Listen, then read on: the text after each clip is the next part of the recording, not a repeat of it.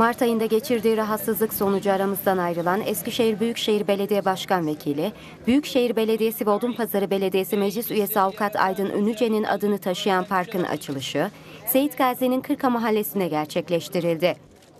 Ünlüce'nin doğduğu topraklar olan Kırka'da büyük bir katılımın olduğu Avukat Aydın Ünlüce Parkı'nın açılışına Büyükşehir Belediye Başkanı Yılmaz Büyükerşen, CHP Milletvekili Jale Ürsüllü, önceki dönem Eskişehir Milletvekili Fevzi Yalçın, Odunpazarı Belediye Başkanı Kazım Kurt, Eskişehir Barosu Başkanı Avukat Mustafa Elagöz, Tepebaşı Belediye Başkan Vekili Fikriye Güven Zaptiye, Mahmudiye Belediye Başkanı İshak Gündoğan, Han Belediye Başkanı Erdal Şanlı, Seyit Gazi Belediye Başkanı Uğur Tepe, Alpu Belediye Başkanı Gürbüz Güller, Miyalıcık Belediye Başkanı Haydar Çorum, merhum Ünlüce'nin eşi, Büyükşehir Belediyesi Genel Sekreteri Avukat Ayşe Ünlüce, oğulları Ata ve Aras Ünlüce, ailesi, yakınları, sevenleri, dostları, belediye meclis üyeleri, bürokratlar ve Kırka halkı katıldı.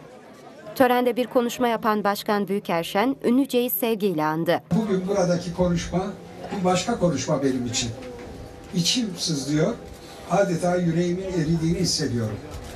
Sevgili Aydın, aramızdan ayrılan sevgili Aydın, şimdi gökyüzünde büyük bir ihtimalle burada da bu töreni izliyor. Ee, onu eşiyle birlikte onları tanıdım. Tanıdım ve çok sevdim.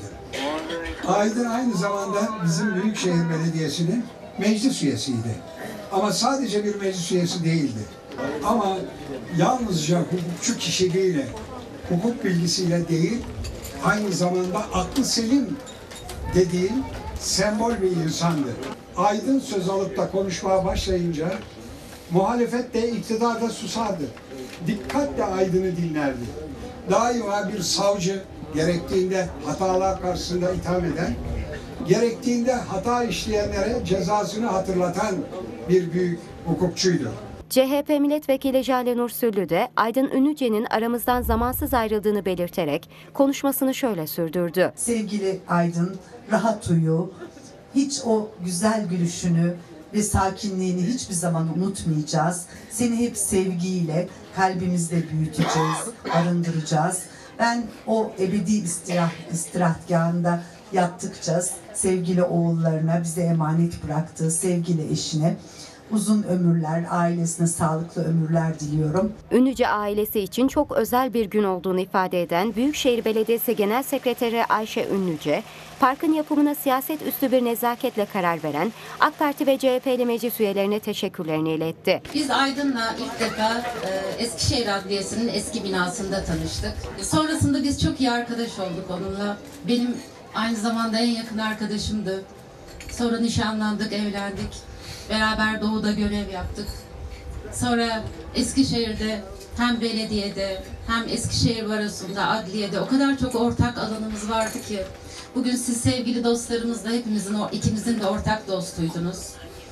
Benim için bugün e, Aydın için, oğullarım Ata ve Aras için ve aile büyüğümüz Cemal Ünlüce başta olmak üzere tüm Ünlüce ailesi için bugün bizim için çok özel bir gün. Siz sevgili dostlarımız, belediyemiz, değerli Kırkalılar sayesinde bugün bu gururu yaşıyoruz. Aydın'ı bilenler bilir, mecliste konuşmamda da söylemiştim. Onun için Kırkalı olmak, Seyit Gazili olmak, Eskişehirli olmak çok büyük bir gururdu.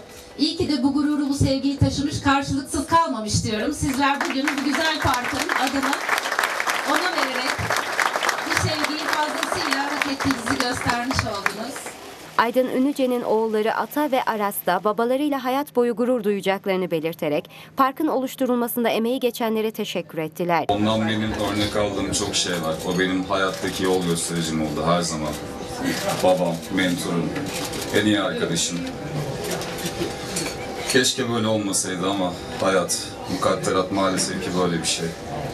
Bu parkın adının ona verilmesinde emeği geçen herkese çok e, teşekkürlerimi sunuyorum. Sağ olun, var olun. Ben de hayatım boyunca Aylin Ünce'nin oğlu olmaktan her zaman çok gurur duydum ve gurur duymaya devam edeceğim. Babamla beraber konuşurken karşılıklı onun gözlerinin içine bakarken, ağzından çıkan cümlelerin kalitesine bakarken bile ben gerçekten çok iyi, çok da kaliteli bir insanın oğluyum diyebilme şerefini bana her zaman layık gördü. Gidişinin ardından da yapılan bu hürmetler gururumu daha da arttırıyor benim. Ee, amacım onun gibi iyi bir insan, iyi bir eş, iyi bir baba ve iyi bir hukukçu olmak olacak. Ee, parkın isminin ona verilmesinde emeği geçen herkese çok teşekkür ediyorum. Geldiğiniz için çok sağ olun. Daha sonra Eskişehir Barosu Başkanı Mustafa Eylagöz bir konuşma yaptı. Aydın abimizin isminin bu parka verilmesi, özellikle kendi memleketine verilmesi bir avukat olarak, bir baro başkanı olarak e, beni ziyadesine mutlu etti.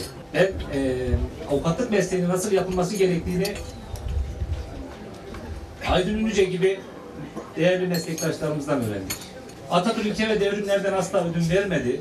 Bir hukukçunun nasıl davranması gerektiği konusunda bizler olmak üzere başta bizden sonra gelen genç arkadaşlarımıza da çok ciddi örnek olan bir meslek icra etti. Kendisini özlem ve rahmetle tekrar anıyorum. Konuşmaların ardından dualar eşliğinde parkın açılışı kurdele kesimi yapılarak gerçekleştirildi.